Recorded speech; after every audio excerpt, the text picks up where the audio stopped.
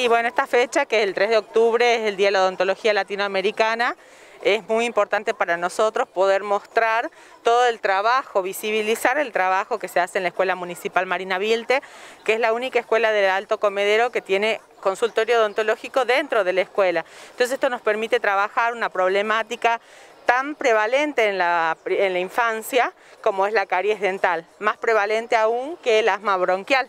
Entonces esta enfermedad este, en que afecta a los niños y a las niñas en, todo la, en toda la sociedad en general, es muy importante poder abordarla en forma puntual, con un diagnóstico preciso. Y hoy es muy importante venir para nosotros acá con la escuela, su directora, la doctora Flavia Barrera también,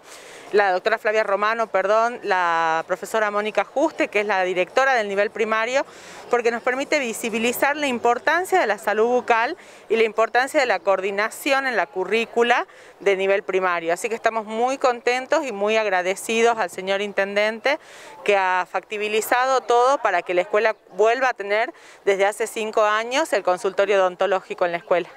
Sí, bueno, desde el principio de año con la Escuela Marina Vilte, con la vuelta a clase de los chicos con presencialidad,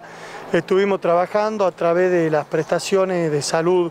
básica en cada uno de los alumnos y de promoción de derechos con distintos tipos de talleres que se vinieron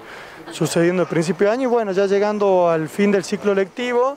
terminamos con esta muestra, taller que realizaron los propios chicos en todo lo atinente a la salud bucal, siempre entendiendo que estamos en una situación de emergencia sanitaria, por lo cual difundir derechos y valores en materia de salud es algo fundamental para la población y en este caso para nuestros chicos, que son los chicos de la Escuela Marina Vilte.